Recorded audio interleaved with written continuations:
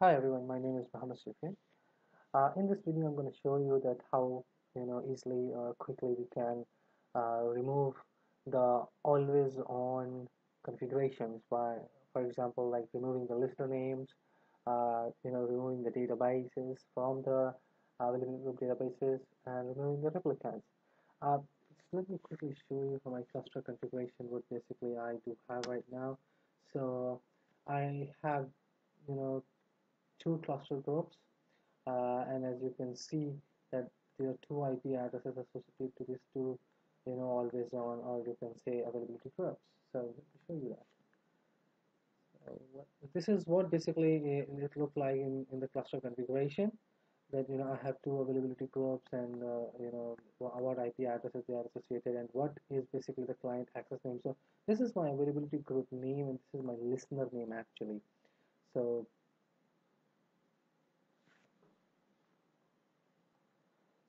Let's go to SQL Server and you can see I have connected to my first SQL instance and I have these two availability groups. This one and 103 so now uh, how basically we can you know remove uh, the availability group listener so if you see these basically names have been registered into Active Directory so that when the client connects uh, you know it's easy to come in. So it is a basically a single subnet but you can have multiple subnets. So it is supported in uh, uh, having a multiple subnets. But you have to remember that uh, only one subnet IP is online at a time.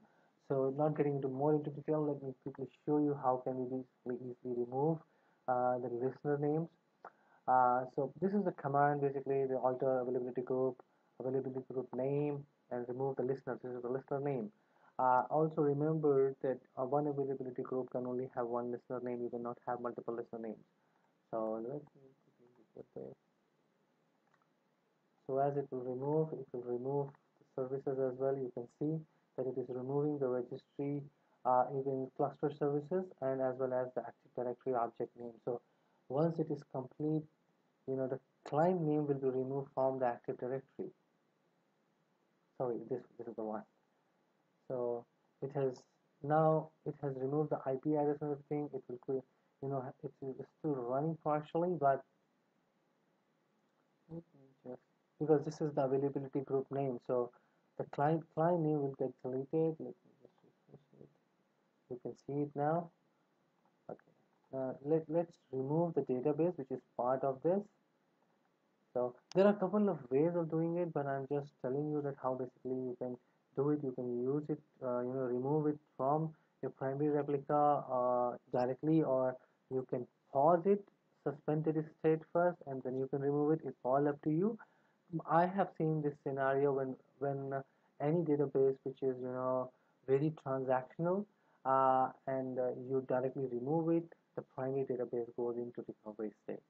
So I will suggest you to pause the database first or you can say suspend it and then you can you know remove it so that primary database should not go into recovery state. So couple of seconds. So it's completed. Now it will look like that the database has been paused for replication and just execute it and remove it. So as you will remove it it will just follow from here. Now you can remove the replica uh, you know by, by choosing this name as you know remove replica replica name from the availability group name. So it's very simple. Now the other way is that you know you can just remove the availability group and you know it, it will take care of everything. Everything will associated all the configuration associated to this of that particular availability group will remove it. So now once the availability group is removed or the, the, the cluster service will also get removed from the cluster and the object name was already removed earlier. So this is how um, easily we can you know remove the services or configuration of always on. Thank you for watching. Bye bye